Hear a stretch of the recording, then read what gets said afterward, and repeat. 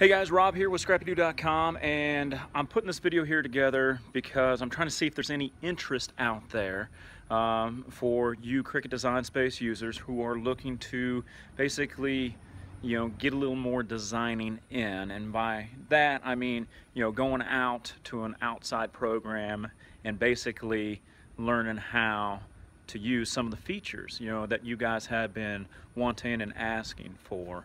I guess. Now, I, I, know a lot of folks out there, they'll go with the Inkscape uh, because it's free. However, once you open up Inkscape, you take a look at it, you get very overwhelmed.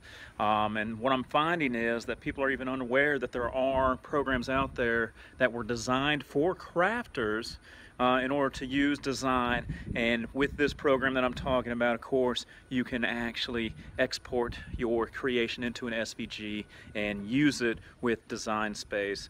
So I mean, it does have a lot of features in there that you are wanting, yearning for, um, but you know, I'm just trying to see if there's any interest out there for me doing a quick little live webinar where you guys can ask your questions, uh, get them answered, see whether or not this program is for you. Um, I mean, I, I bet once you see some of the things that you can do with the ease of, you know, a few button clicks, that you'll probably want to end up getting this. And, you know, you'll save the time, headache from trying to learn Inkscape. So if you just have a little bit of interest in, you know, expanding your knowledge, your design capability, uh, go ahead, click on the link that's right underneath this video.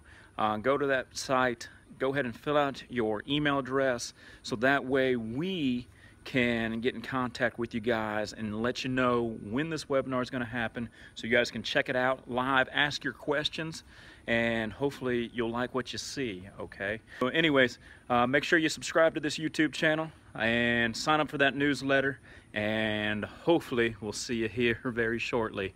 All right?